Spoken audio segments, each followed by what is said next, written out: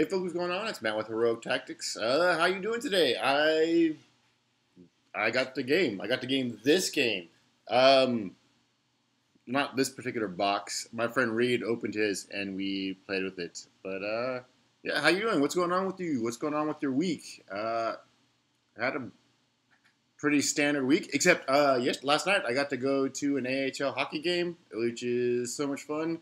Uh, our team lost because we are the minor league affiliate for the Dallas Stars, and they called up like half our team. So yeah. Uh, but uh, if hockey isn't like, if hockey's not your thing, that's not what we're here talking about. We are here to talk about what I did today and yesterday, last uh, Saturday afternoon. Uh, me and my friend Reed played Godzilla. Yay! It's a brand new set based on the whole Chrono Clash system, which means like instead of mana, you have time, but it's just. I'll get into it more when I unbox this bad boy, but whatever you um, do something, you move time or a resource. I guess it's you move a resource to your opponent, and your opponent can do whatever they want with that resource.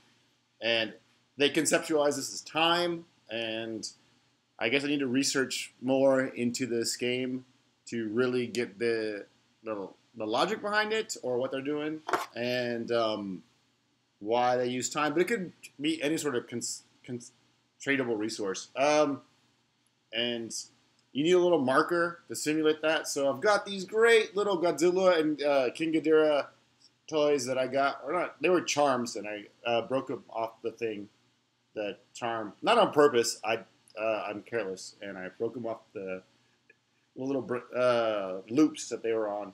And I was like, what am I going to do with them? They're broken. I'm like, oh, wait, they could be the little slider in this game. Um, so we, we played about five or six games. Uh, me and Reed, I played Naruto once. I or um, there's a Naruto version of this gaming system that I played once and maybe didn't get the best grasp on it. Reed played a couple of times, and we were still beginners, and I think we made quite a bit of mistakes. We are hoping to team up with or hang out with Brandon, who basically plays every game in existence, but he understands Chrono Clash, so hopefully he'll give us a, a better understanding about what we missed. And um, yeah, it was fun. Let's get it open. So, got shrink wrap, which I'll never open right. Then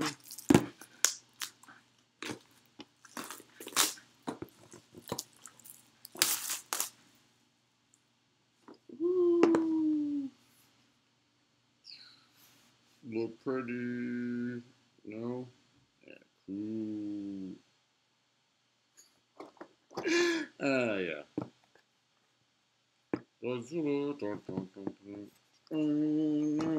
I can't sing that too much or I'll get sued. Good.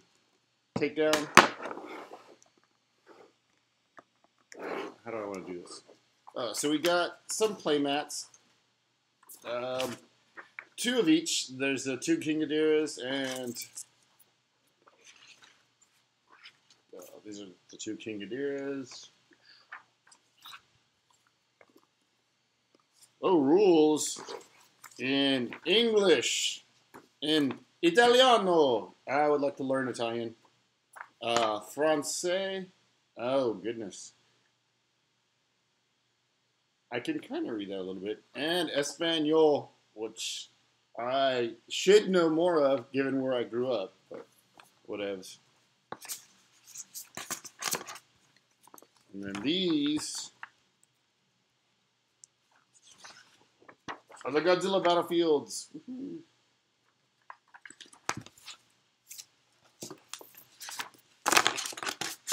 So in Chrono Clash, there's a two different cards. Ah, the EX cards, and then your uh, decks. And these are actually four decks. There's four decks in this straight out of the box with uh, three copies, as far as I tell, three copies each of all the cards you need. So I don't believe you need to uh, buy a, multiple boxes to have what you need, unless you want to make multiple identical decks. But uh, yeah. Uh, these are tournament kit prizes, and they're smaller versions of these cards, uh, foil versions. Their only downfall is that if you want to use these cards instead of this card, you need to have like a complete set of six of these bad boys. So, yay, I guess. You know, they're they're there. I want to open mine, see what I got just really fast before.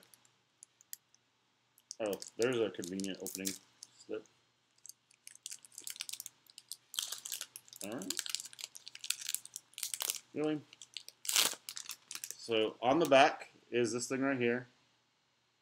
Okay, so I was told these are, you know, foil versions of these, but I've got an actual playing card. So this is a card that I use quite a bit. This is really cool. It's uh oh, the coolest thing about this thing is that uh the coolest thing about the Chrono Clash system is that you it uses symbols to explain everything. So uh, if you can really see that right there, it says this is an action that costs three time or mana or whatever you want to call it. Um, and then if you play it normally, you can draw one card and draw one and draw one EOX card. And you kind of have to do both, so you couldn't play it if you were about to run out of. Um, you couldn't play it if you were about to run out of uh, cards in one deck. And then it's got uh, an ability if you flip it when you do a guardian, if it's on your guardian stack, you'll do this thing: draw a card and draw an EX card. But uh, we'll get into guardian stuff later. That was one of my tournament kits. Open this bad boy.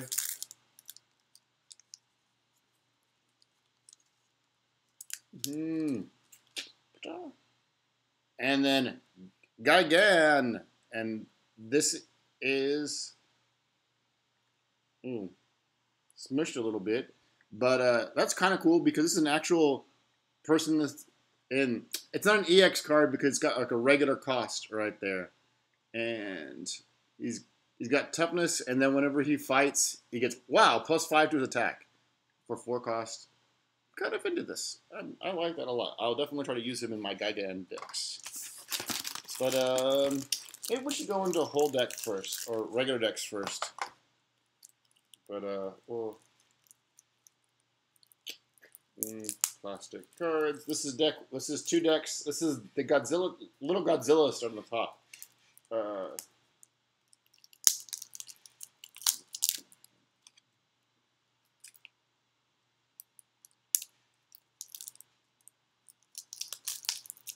Plastic wrap is my mortal enemy.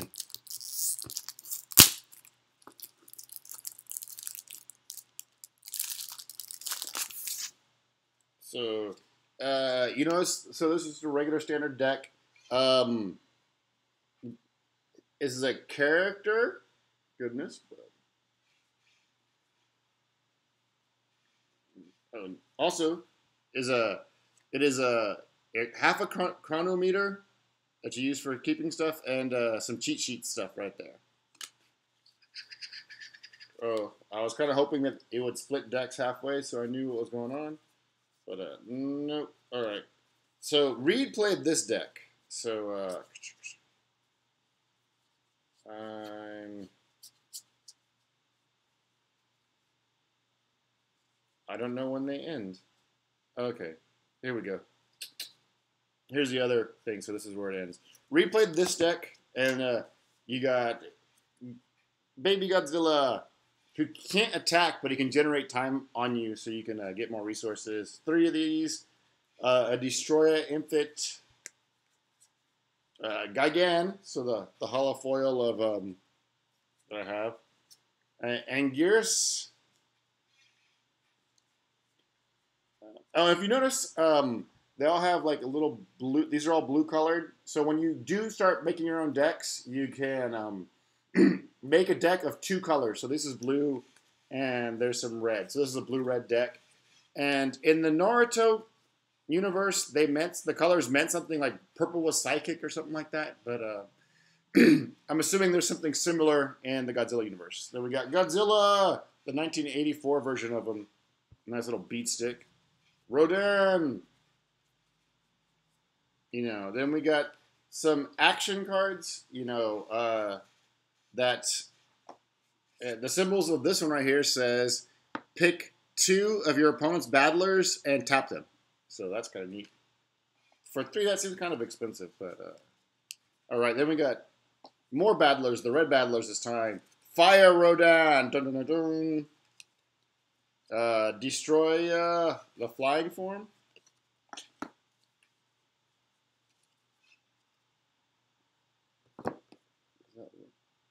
How's that look? No, I'm in the way.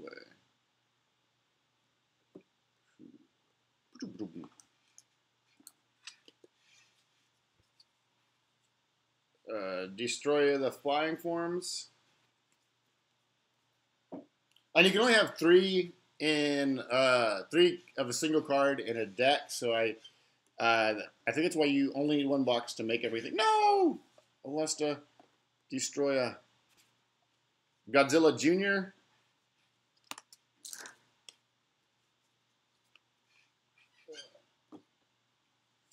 Megaris.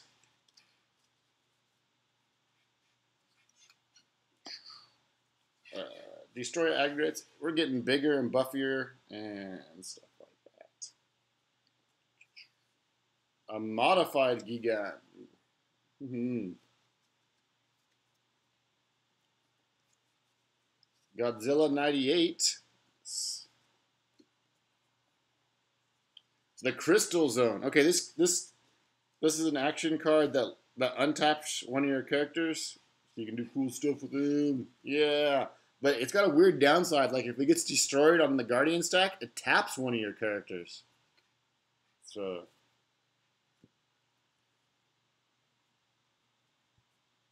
Infinite Heat Ray. It uh gets you a card and blows up one of your opponents. Gets you an EX card and blows up one of your opponent's creatures most of the time. And the Oxygen Destroyer from the classic movie. Uh, my friend never, never played this against me, so I don't know what it does. Um, a chosen opponent character with a cost of, or the attack is six or greater than, less than or equal to six is destroyed. That's kind of neat. That was the size of Godzilla. This is the Mothra deck, and I did play this, so I'm kind of familiar with this one a lot. It's Mothra Ghidorah, King Ghidorah. So we got uh, three little drats. Show up for me, bud. Uh, three Battras. Three Lightspeed Mothras. Uh, three Aqua Mothras.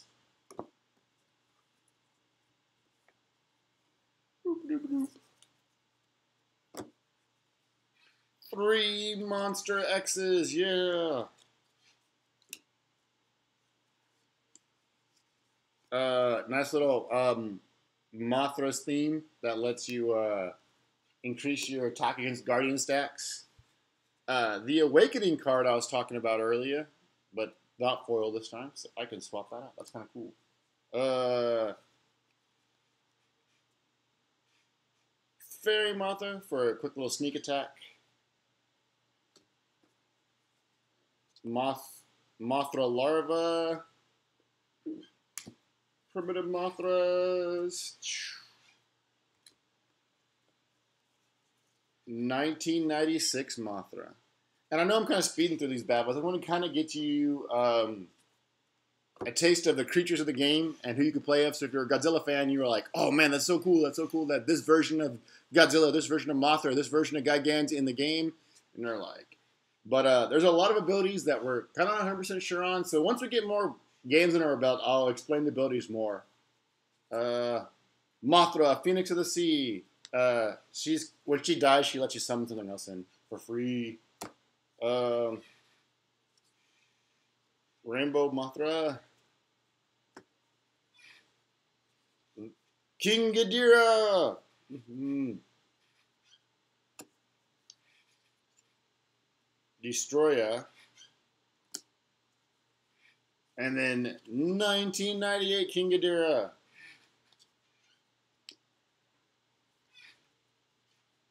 Uh, the Shin Toshin Collapse. This nice little ability that lets you get card back from your discard. And Gravitational Beam. Another ability.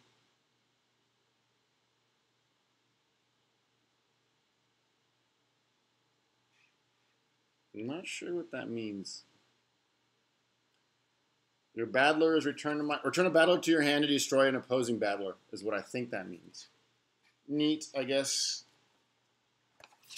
Uh, little cards to remind you how to do that.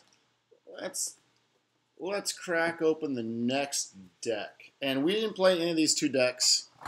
And uh, Reed looked at the one because it's the Shin Godzilla deck, so he uh, looked at it. But we did not play these, so we are not. Uh, we to look at them because uh, we were looking for certain abilities that we didn't see.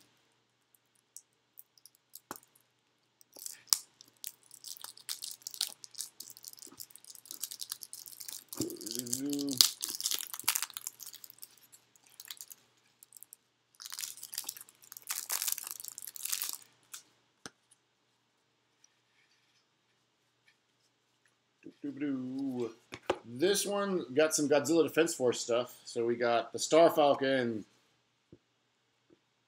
Mm -hmm. The Maser Beam tank. I think I saw a model when I was in Tokyo last month. So, or it was a really impressive toy, but I saw a Maser Beam. Uh, Gargoyle, so it's a got some some monsters in here. Uh, Garuda. The Super X3.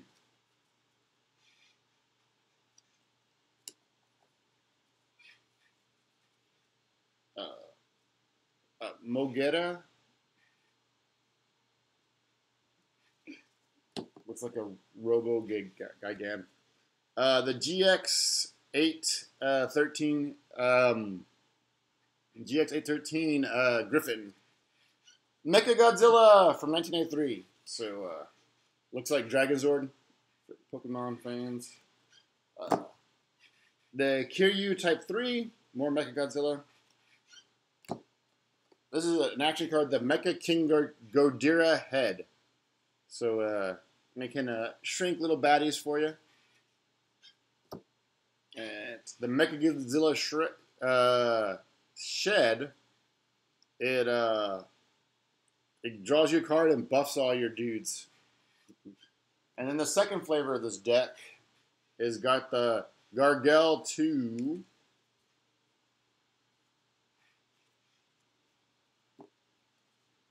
Uh, the the Land Mogira. False Godzilla. He's a pretty beefy boy for uh, the Super X2. ships. The multi-purpose fighting system, uh, MFS3, so another Mecha Godzilla. Pretty buff little dude right there.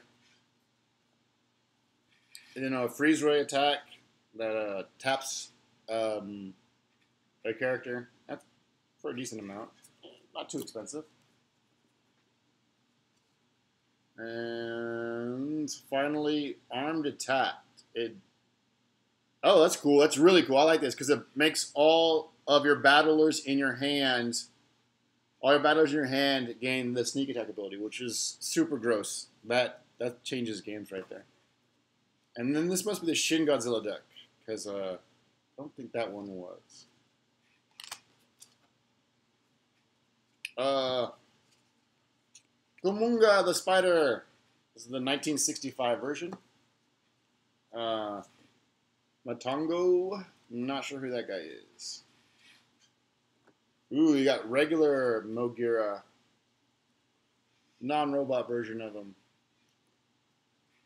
Godzilla from 1971. We got one of the Frankensteins. I'm not sure exactly which one. I forgot the difference between the two. Godzilla's Invasion in action card that uh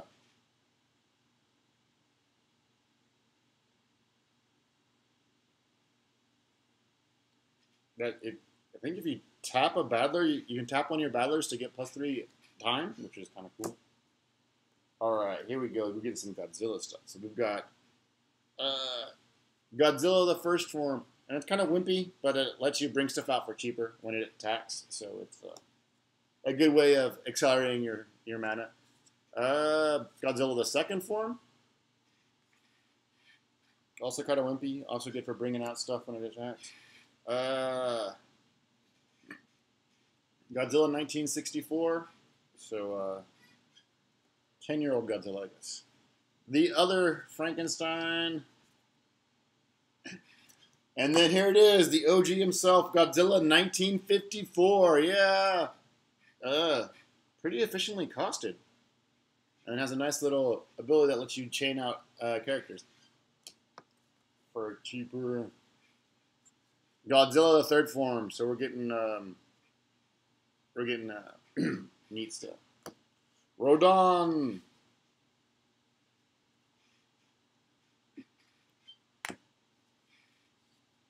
Godzilla 65. Ew. And then Godzilla the fourth form.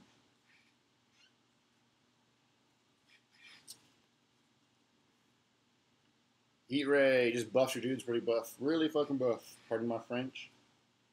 Unconventional mass. Unmanned conventional bomb. It uh, blows up two of your opponents, or shrinks them. And then the Repel Godzilla mission, another action that shrinks dudes pretty badly. Let's crack these EX dudes open and really go to town because this is this is the main event right there. You play with your decks to draw EX cards in hopes that you can bring out these bad boys right here. All right. Destoroyah, the final form. This is Reed's one of Reed's favorite characters, and uh, he's a pretty effectively costed characters.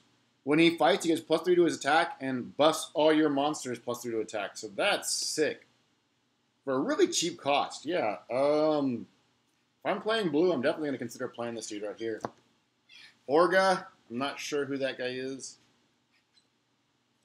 Decent. Space Godzilla.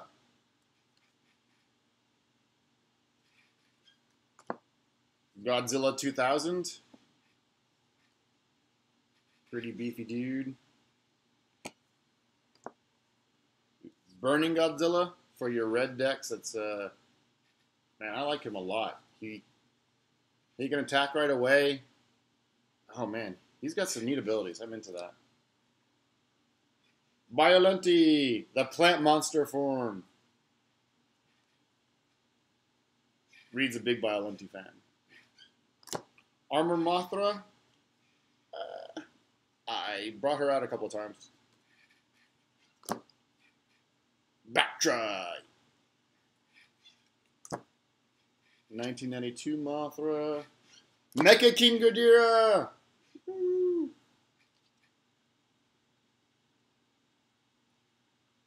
Don't think I ever brought him out. I think I drew him, but I never brought him out. Uh, Ghidorah, God of the Sky. So, uh, he looks gross.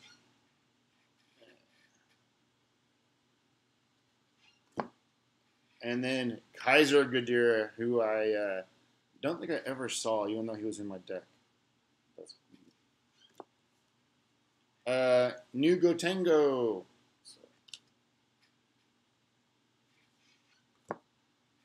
Mo, uh, 2. Super Mecha Godzilla. Man, this guy's kind of beefy. When you summon him, on tap all your dudes, so you can do stuff. Yeah. Uh, regular Mecha Godzilla. Pretty up there.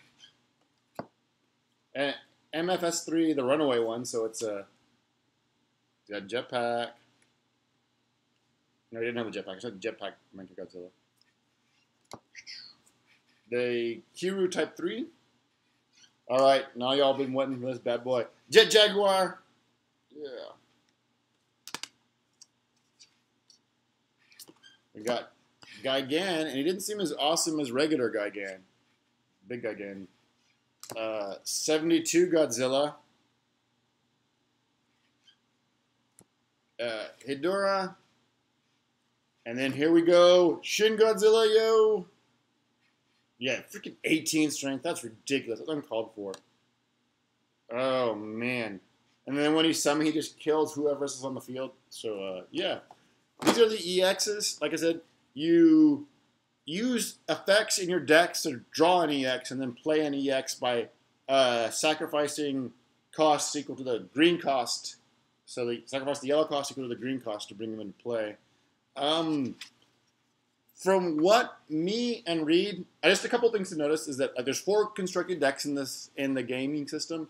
Unfortunately, the Shin Godzilla deck, as near as we can tell, has no way to draw EX cards, and I think that is a a huge oversight in the game because people are going to buy the box. They're going to want to play with their friends. Of course, everybody wants to play as Shin Godzilla, so you're going to play the Shin Godzilla deck, and you're going to play a game and never draw an EX card. Then you're going to play a game again and never draw an EX card, and again and again and again, and just get really frustrated because you want to draw your EX Shin Godzilla and play him. So it seems very poor decision when they made that deck to do that. They should have did some. That shouldn't have. That seems to me like that shouldn't have uh, come out.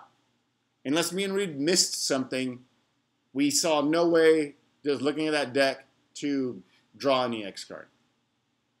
Um, one thing I also noticed, I put it as playing as Mothra and the Mothra King Ghidorah deck is that there was it was feast or famine. I either drew big beefy dudes or a bunch of little dudes that did nothing for me. So like, I was like two out of six, but uh, we kind of as we were playing around figuring stuff out.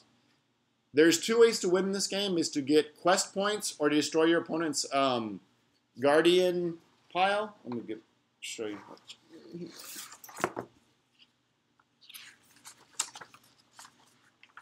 Uh, guardian stack.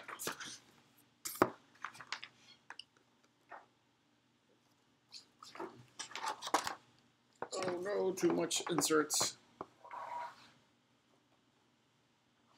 see. Um,